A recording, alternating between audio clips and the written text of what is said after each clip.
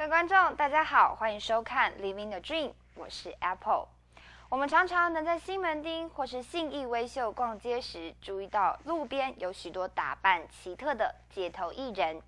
他们静静地站在路旁，摆着我们所不明白的姿势，吸引着路人们的眼光，并试图借由自己的肢体动作传达快乐给经过的人们，也带给许多人欢笑与惊喜。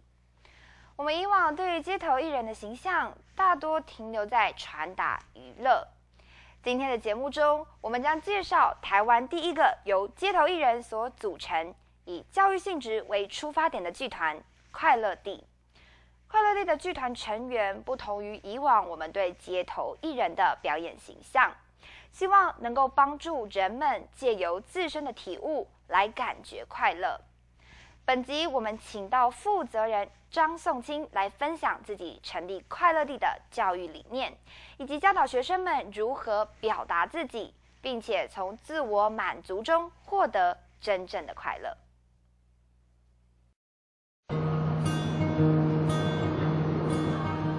星期六的早晨，天空正飘着毛毛细雨，快乐地的剧团成员们为这一天的表演进行暖身。从那。九岁开始就是跟着我爸的剧团这样跑。那期间，我觉得剧团、学校两边这样子都会两边跑。那后来发现，其实渐渐慢，我跟我同学同学校里面同班同学已经有点差异性，就是把我在剧团学到的东西，跟他们在学校看到了，在我的学校看到了，他们又不太一样，就觉得他们好像缺少了一些像我所说的快乐。相较于学校中的学习，对于快乐，他不仅发现其中的不同，也同时领悟出不一样的意涵。我觉得人生应该再快乐一点。那当然，快乐不是说每天去玩乐，或者是每天去去去狂欢什么的，就是说你应该还是要过，就是让你的人生过的是一个有规划。可是你还是需要一点是快乐的成分。你可以做你快乐的工作，做你快乐的学习。那可是，往往现在很多人都是没有这个这方面，没有去注意这方面，所以就变得好像他们就只是在学习，然后就是苦闷的学习，苦闷的工作。可是我觉得不应该是这样，所以我们想要教大家怎么样去快乐，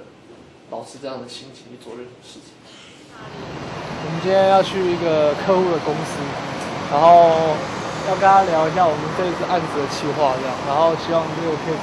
可以成功。然后公司都在这边。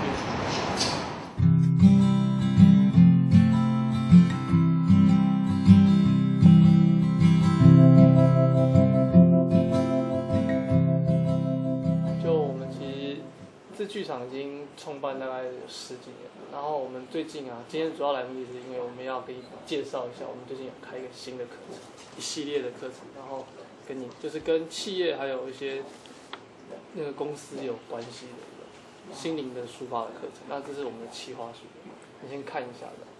对，你可以把这当才艺班，当补习班。但是我们这里呢，不会教你学校的功课，我们也不会教你怎么样升官发财。可是我们就是教你你如何去面对自己，然后去舒压，去学到快乐。跟一般外面在讲的潜能开花，那不太不一样。就是我们主打的还是以艺术来做引导。对，我们可能会从美术。音乐或者是舞蹈、戏剧，甚至是现最近很流行的一些即兴的接触，就是比较即兴的创作那种的艺术方面，用艺术的概念去做一种心灵的成长。因为我们认为，相信做艺术的他们都是主要目的是跟自己对话，自己跟社会的对话。那我说的快乐是一种没有压力、没有不需要被压迫、压抑的快乐。那为什么说这样的快乐会？又需要从艺术这个方面来引导，是因为我觉得你去看一场表演，基本上你去看跳舞或是戏剧或是音乐会，你出来不会说哦，我看到苦闷，或是你去看画，去看画展、看展览，你看完之后你不会觉得说，哎，我觉得我的人生过得好无趣，或者是我觉得我看了之后觉得好痛苦，好想哭，可能会感动，但是不会说到悲，就是到那种觉得很难过啊，或者是很。很压抑的这种心情在。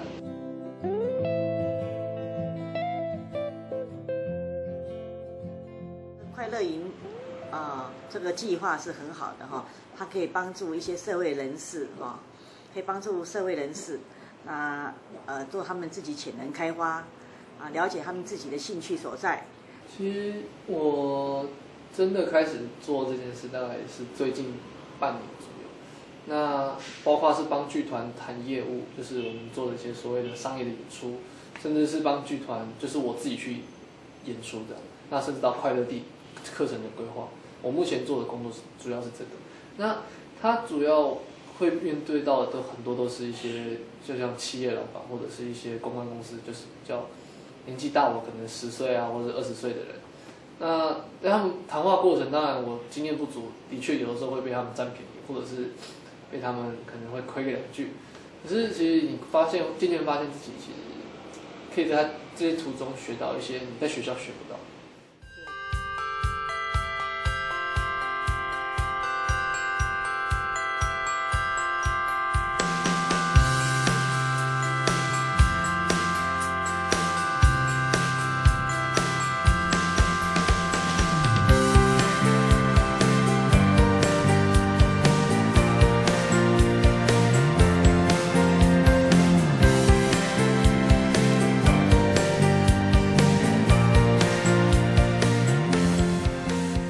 在他们美丽的面具下，隐藏着努力不懈的意念。从小便与父亲的剧团四处旅游表演，即使是表演的时间与前置的准备付出，相对于收入，有时候并不一定成正比。然而，他却没有任何一丝怨言，总是乐于当下，坚守自己的信念。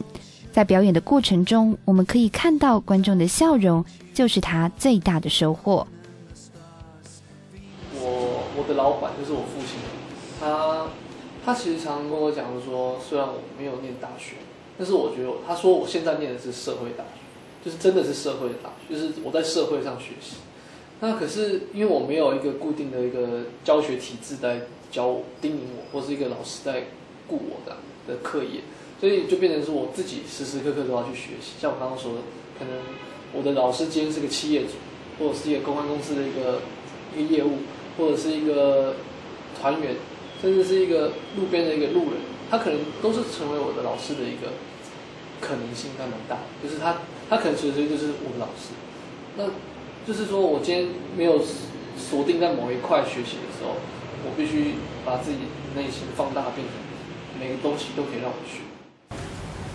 二十二岁的他，即使没有上大学，却没有因此而迷惘孤傲，反而坚持走自己想走的路。踏实且谦逊，即使一路可能跌跌撞撞，却是依然带着满意微笑，并持续的向前迈进。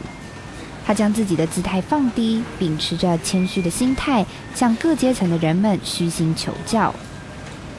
影响他生命中最大的，便是他在汇川剧场的老板，同样也是他的父亲张望。面对儿子的独立与早熟，身为父亲的他，有些话希望能鼓励儿子。做这样的事情，其实当然非常的辛苦，因为台湾的社会，甚至应该不能讲社会的问题，不能讲教育问题，是台湾家长的问题。我想百分之九十九的家长都希望他孩子很会读书，却忘记了他可能不爱读书，他也不会读书。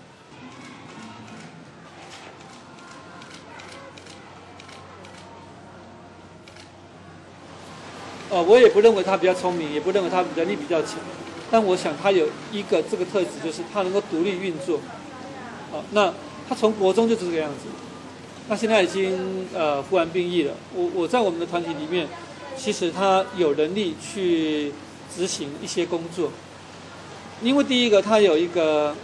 我刚刚说跟我同样的背景，都不爱读书，也不会读书，但是快乐成长的孩子。第二个他可以独立去思考，独立去操作一个。呃，一个一个行为或者说一个目标，但是他的确还是有一些不足的地方，啊，比方说他没有太多的所谓的执行一件工作的经验，更不要说去行销、去传达一个理念，然后把它变成一个成功的事业，这当然有困难，所以我会希望他能够再去找更多的伙伴。或者说用他的方式去找、去吸引、去感动更多的人来参与这样的工作。是，虽然目前快乐地啊还在停歇的状态，但是我觉得，我觉得认为继续做啊，那你就不要不要放弃的话，总会有一天成功嘛。因为我一直相信，失败就是在宣布放弃那一刻才算失败。那只要你不放弃，就会有成功的一天。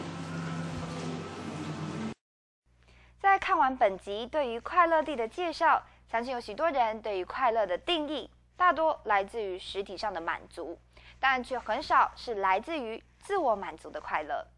快乐地由这群卸下化妆的艺人们，亲自引领学生进入他们的表演，教导他们如何表达自我。而在这个班上，没有老师以学生的区分，借由彼此的分享，让他们互相来成长。由于台湾并没有任何才艺班或是由街头艺人所组成的班级，所以在他们成立的过程中，如何经营以及扩展将会是一大艰巨的挑战。也希望快乐地不管遇到多少困难，也能够调整心态来面对与克服。我是 Apple，Living the Dream，感谢你的收看。